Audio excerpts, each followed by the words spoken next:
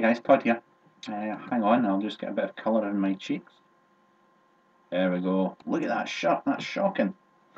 Uh, anyway, um, today, bit of vape mail uh, from vaporfreak.de. Uh, uh, I bought a thing. Oh my god, I've forgotten what it's called. It's the Panty Hamster Penelope copy clone. Uh, Euphoria, that's it, Euphoria.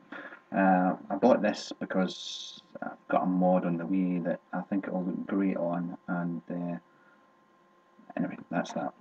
Um, but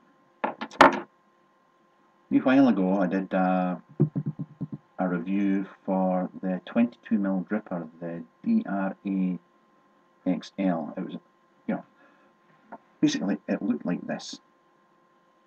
Um, except it was more of a, a brushed finish on it.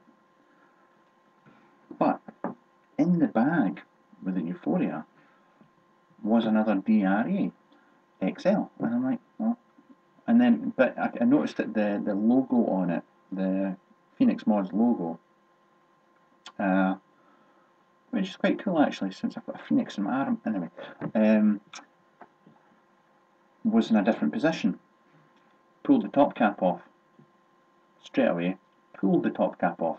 Wasn't a screw one. Uh, so this is the version two, um, which actually addresses the concerns that I personally had with the version 1. Um, so they also included this little 24 carat lookalike drip tip thing. Uh, which, so it's on my uh, 69 mod with its brass accessories. So, I can't get a, excuse the dirty drip tip, I've been vaping away here. So it's still got the knurled bit at the bottom, but uh, and the other thing is, pull it off. Um, Phillips screw heads, not the Allen key heads that we had before. Uh, vapes away great. It's got the, the well in there. Um, do you know what? It, I'm not going to go into a huge review or anything like that or setup tutorial. I mean, the main differences, though, well, the differences are it's now got a more polished finish. The Phoenix logo is dropped down a bit. Um, the posts have Phillips screws on them now, and it's uh, not a screw-on top cap. I'm only a couple of things to mention.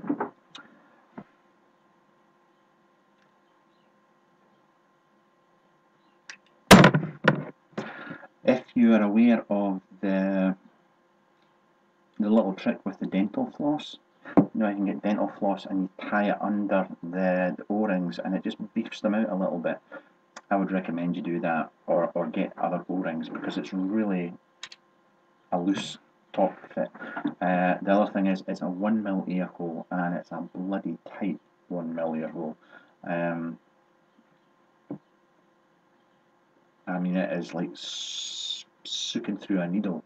Um, I'll probably drill it out to 1.3 or something like that, but right now it's too tight for me, but that's personal preference.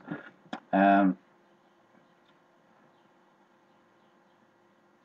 I like it.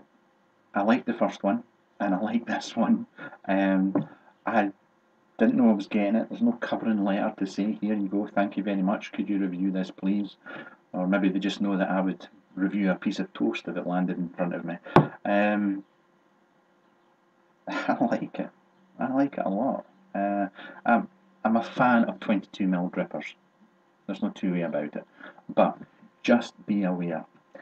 The O-rings, not very good. It's not the best fit. It is very, very loose.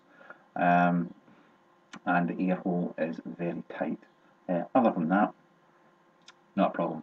Uh, if you want to buy one, go along to vapor-freak.de uh, and uh, give them a shout. And it's, I think it's still 19 euros uh, for this, but uh, I like it. I still use the other one that I bought, uh, so not complaining. But uh, if the guys at Vapor Freak watch this, I'd just like to say thank you very much for sending this on.